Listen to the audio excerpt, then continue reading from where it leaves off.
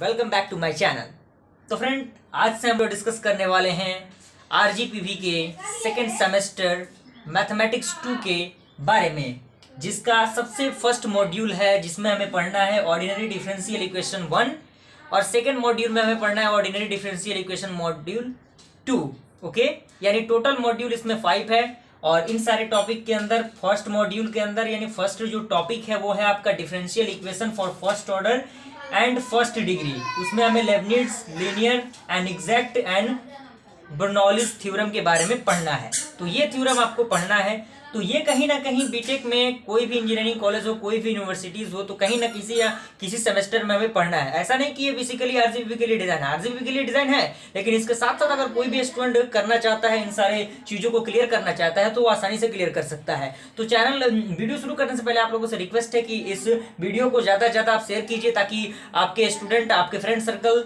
में लोग इसे सही तरीके से जान सके और सही तरीके से सारे कॉन्सेप्ट को समझने की कोशिश करें। और मैं बारी बारी से इसके हर एक चैप्टर बाई चैप्टर सारी चीज़ें आपके सामने प्रेजेंट करने की कोशिश करूँगा। और इसका मैं प्लेलिस्ट बनाऊँगा मैथमेटिक्स टू के नाम से। और मैथमेटिक्स टू के नाम से एक प्लेलिस्ट अलग रहेगा। और मैथमेटिक्स टू क्वेश्चन के नाम से एक प्लेलिस्ट अलग रहेगा, जिसमें सिर्फ़ मतलब इंपॉर्टेंट क्वेश्चन हम लोग डिस्कस करेंगे। इसमें भी क्वेश्चन इनसे डिस्कस किया जाएगा।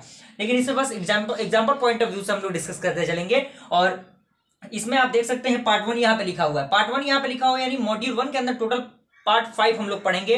जिसमें पार्ट वन आज हम लोग डिस्कस करने वाले हैं, अभी हम लोग डिस्कस करने वाले हैं। तो ज़्यादा ज़्यादा आप शेयर कीजिए और अपने फ्रेंड सर्कल को बताइए, अपने फ्रेंड को बताइए, ताकि वो भी इसका फ़ायदा उठा सकें। तो स्टार्ट करते हैं हम लोग वीडियो बिना किसी इंतज़ार के। सबसे पहले हमें करना है कि डिफिनेशन क्या है इसका? आखिर डिफिनेशन है क्या?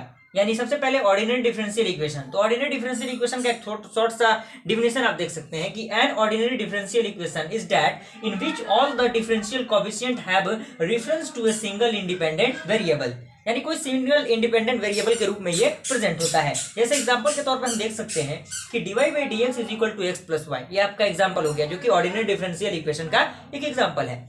और सेकंड इसमें है आपका order and degree of ordinary differential equation यानी डिफरेंशियल इक्वेशन को हम लोग इतना लिख सकते हैं क्योंकि ज़्यादा लिखने की ज़रूरत नहीं है, बस आपको समझ में आना चाहिए टू द पॉइंट सारी चीज़ें। तो उसमें एक स्टेटमेंट ये है कि the order of a differential equation is the order of highest derivative appearing in it the degree of differential equation is power of highest derivative यानी डिग्री क्या है? हाइएस्ट डेरिवेटिव का पावर है। हाइएस्ट डेरिवेटिव का क्या है? Power है degree और उसके साथ साथ while the highest derivative free from radical and fraction यानी रेडिकल और फ्रैक्शन से ये मुक्त होना चाहिए, यानी फ्री होना चाहिए। एग्जांपल के तौर पर हम लोग देख सकते हैं कि अगर d y by d x is equal to x square plus one दिया हुआ है तो इसका आप देख सकते हैं ऑर्डर क्या है? यानी ये फ़र्स्ट ऑर्डर डेरिवेटिव है। और फ़र्स्ट ऑर्डर डेरिवेटिव का पावर कितना है? पावर यहाँ पे कुछ नहीं तो क्या है? वन है। पावर यहाँ पे वन है तो यहाँ पे आपका डिग्री भी क्या होगा? वन होगा। और यहाँ पे सेकंड एग्ज़ाम्पल में d square d square y divided by d x square minus d y by d x is equal to zero तो यहाँ पे आपका ऑर्डर क्या होगा। सेकंड ऑर्डर डेरिवेटिव होगा, क्योंकि डी पर दिया हुआ है। अगर डी का पावर थ्री रहता तो क्या होता? थर्ड ऑर्डर डेरिवेटिव होता। और यहाँ का पावर कितना है? वन है तो यहाँ पे आपका डिग्री भी वन ही होगा। यहाँ तक आई होप क्लियर हुआ हो। एक पॉइंट यहाँ पे आपको दिख रहा होगा कि nth order of differential equation is denoted by यानी कोई भी एनथ ऑर्डर का जो डिफरेंशियल इक्वेशन होगा, उसे हम किस तरह से डिनोट करेंगे? उसे हम डिनोट करेंगे f of x comma y comma d y by d x comma d square y divided by d x square and dot dot dot d का power n y divided by d x का power n is equal to zero आपका एक general statement है general term है।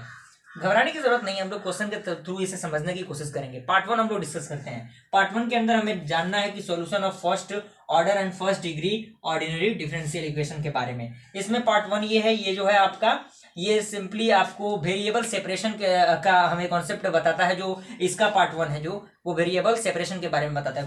Variable separation में ये है कि an differential equation is the type divide by d x is equal to f of one x divided by f two y okay तो इसको अगर हम लोग वेरिएबल सेपरेशन अगर हम लोग करें यानी एक्स वाला टर्म एक साइड वाई वाला टर्म एक साइड तो इसी को हम क्या कहते हैं? वेरिएबल सेपरेशन कहते हैं। और इसके थ्रू अगर हम इसका मल्टीप्लाई कर देते हैं तो यहाँ पे ये टर्म आएगा, और यहाँ पे ये टर्म आएगा, और इसको हम लोग क्या करेंगे? इंटीग्रेटिंग बोथ साइड कर देंगे। इंटीग्रेशन अगर जैसा ही हम लोग करते हैं तो यहाँ पे f two y is equal to f of one x d x plus c आपका आ जाएगा। सी एज ए कॉन्स्टेंट रिप्रेजेंटेट होता है यहाँ पे ओके यहाँ पे एक इसका जनरल इक्वेशन हो गया। एक एग्ज़ाम्पल के तौर पे हम लोग इसे समझने की कोशिश करते हैं। एग्ज़ाम्पल आप देख सकते हैं, कह रहा है solve the differential equation x का power three d y by d x minus three y square is equal to x y का होल स्क्वायर सिंपली से अगर हम उसे लिखने की कोशिश करें तो इस तरह हम लोग लिख सकते हैं। और यहाँ से अगर three minus three y square है, अगर इधर जाएगा तो क्या होगा? पॉजिटिव हो जाएगा। यहाँ से पॉजिटिव हो गया। अगर इन टर्म में से अगर हम इसको, यहाँ से वाई स्क्वायर का अगर हम लोग कमन ले लेते हैं तो यहाँ पे क्या बचता है? एक्स प्लस थ्री बच जाएगा। और यहाँ से सिंपली अगर हम वाई वाला टर्म एक साइड और एक्स वाला टर्म अगर एक साइड करते हैं तो यहाँ पे आप देख सकते हैं,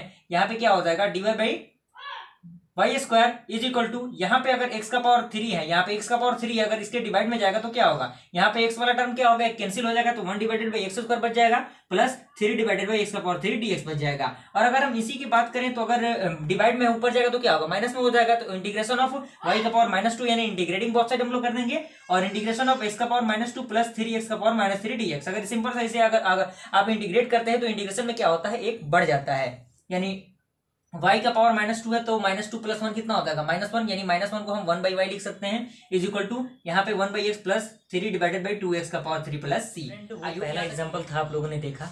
ये सेकंड एग्ज़ाम्पल आप देख सकते हैं कह रहा है कि solve the differential equation d y by d x minus x tan y minus x is equal to one simple से हम लोग क्या करेंगे? मैथमेटिक्स का टर्मिनोलॉजी यही होता है कि सबसे पहले जो इक्वेशन दिया हुआ है उसे हम लोग लिखते हैं यानी given d y by d x minus x tan, y minus x is equal to one.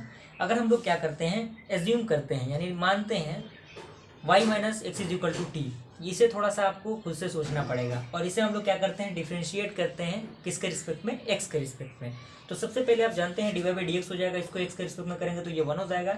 इसको करेंगे तो d t divided by d x हो जाएगा। और यहाँ से अगर डिवाइड बाई डी एक्स का अगर हम वैल्यू की बात करें तो divide by d x is equal to one plus d t by d x हो जाएगा। और इसके थ्रू हम क्या करें? इक्वेशन को चेंज करने की कोशिश करें तो चेंज हो जाएगा, क्या हो जाएगा यहाँ पे? वन हो जाएगा। One plus d t by d x minus x tan t is equal to one. अगर इस वन पॉजिटिव है, इधर आएगा तो निगेटिव होगा तो ये ऑब्वियसली कैंसिल हो जाएगा। और अगर इस टर्म को हम लोग बात करें तो यहाँ पे d t by d x is equal to x tan t आ जाएगा। और यहाँ से अगर डी टी यानी टी वाला टर्म एक तरफ़ और एक्स वाला टर्म एक तरफ़ अगर हम लोग करने की कोशिश करें तो d t divided by tan t is equal to x d x हो जाएगा। और अगर हम जानते हैं कि वन बाई टेन टी क्या होता है कॉटी होता है तो इंटीग्रेशन ऑफ़ कॉटी यानी हम लोग क्या करना है इंटीग्रेट कर देना है, बस सिंपल सा। तो integration of cot t d t is equal to integration of x d x तो यहाँ से हम लोग जानते हैं इसका डायरेक्ट फॉर्मूला होता है log mod sine t is equal to x square divided by two plus यहाँ पे अगर सारा चीज़ अगर लॉग के टर्म में है तो लॉग सी भी हम लोग लिख सकते हैं कोई दिक्कत दिक्कत नहीं। और यहाँ पे लॉग सी हो जाएगा और यहाँ से अगर टी के वैल्यू की बात करें तो यहाँ पे टी का value y minus x is equal y minus x है। यहाँ is equal to x square plus two divide plus two divided by two plus log c यानी यहाँ आपका फाइनली आंसर आ जाएगा। आइए आई होप आपको वो दोनों क्वेश्चन समझ में आया होगा। उसके बाद हम लोग डिस्कस करते हैं। इससे पहले हम लोगों ने देखा कि वेरिएबल सेपरेशन किस तरह से यूज़ किया जाता है, किस तरह से अप्लाई किया जाता है। अब हम लोग देखने वाले हैं होमोजीनियस फ़ंक्शन के बारे में। होमोजीनियस फ़ंक्शन से कहीं ना कहीं आप ट्वेल्व में भी रिकॉल हुए होंगे। ट्वेल्व में भी इंटीग्रेशन पार्ट में आपको पढ़ना है। तो बस यहाँ पे कह रहा है कि function in which each term is of same degree is known as homogeneous function यानी जो जिसका डिग्री क्या हो सेम हो, वो आपका क्या कहलाता है? होमोजीनियस फ़ंक्शन कहलाता है।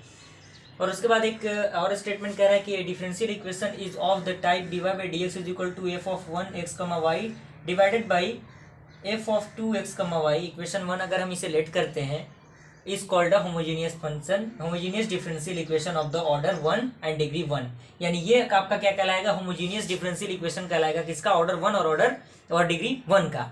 Okay okay? इस टर्म से अगर लिखा रहेगा तो। यदि कह रहा है कि if f of one x comma y and f of two x comma y be two different homogeneous function x and y तो हम क्या करेंगे? फाइंड करने के लिए क्या करेंगे? To find the general solution हम क्या करेंगे? पुट करेंगे y is equal to v x okay और जहाँ से आपका v का वैल्यू क्या होगा? v is equal to f of x होगा, जो फ़ंक्शन होगा और यहाँ से हम लोग क्या करेंगे, इसको डिफ्रेंशिएट करेंगे सिंपली तो डी बाई डी एक्स हो जाएगा is equal to v plus x d by d x हो जाएगा। और यहाँ से हम लास्ट में क्या करेंगे v is equal to y by x put करेंगे एट लास्ट स्टेप में ओके तो ये तो स्टेटमेंट होगा होमोजीनियस फ़ंक्शन का स्टेटमेंट तो स्टूडेंट को कहीं ना कहीं स्टेटमेंट थोड़ा सा जानना ज़रूरी हो जाता है, क्योंकि वो कहता है कि स्टेटमेंट तो कोई लिखवाया नहीं डायरेक्ट क्वेश्चन किस तरह से करना है तो ये आपका स्टेटमेंट हो गया। आइए हम लोग क्वेश्चन के थ्रू से समझने की कोशिश करते हैं। क्वेश्चन कह रहा है कि solve the differential equation x divide by d x is equal to y plus under root x square plus y square simple sum क्या करेंगे? जो दिया है वो तो हम लिख, हमें लिखना ही है। X divide by d x plus y under root x square plus y square और इसको हम लोग क्या करेंगे? सिंपल सा सेपरेशन लगाएँगे। वेरिएबल का एक्स वाला टर्म यहाँ पे आपका डिवाइड में आता है। ये इक्वेशन क्या हो गया? वन हो गया। और हम लोग क्या करेंगे? It is homogeneous homogeneous differential equation of order and one and order two okay order one and degree one इसका ऑर्डर वन और डिग्री वन है। अगर सेकंड ऑर्डर डेरिवेटिव होता तो डिग्री भी आपका सेकंड होता, लेकिन यहाँ पे वन है। उसके बाद हमें क्या करना है? पुट करना है y is equal to v x और इसको क्या करना है? डिफ्रेंशिएट करना है। यानी d y by d x is equal to v plus x d by d x और इसके थ्रू हमें क्या करना है? इक्वेशन वन को चेंज करना है। तो इक्वेशन वन को अगर हम जैसे ही चेंज करेंगे तो v plus x d v by d x is equal to यहाँ पे वाई के जगह पे आपका वी एस हो जाएगा v x plus x under root one plus v square divided by x यहाँ से अगर हम एक्स को कॉमन लेते हैं तो v plus under one plus v square divided by x आ जाएगा और यहाँ से एक्स और एक्स आपका कैंसिल हो जाएगा तो यहाँ पे टर्म क्या बच जाएगा? V plus x d v by d x is equal to v plus under root one plus v square यहाँ से अगर वी अगर हम पॉजिटिव है इधर आएगा तो आपका क्या होगा? नेगेटिव होगा तो वी से वी कैंसिल हो जाएगा।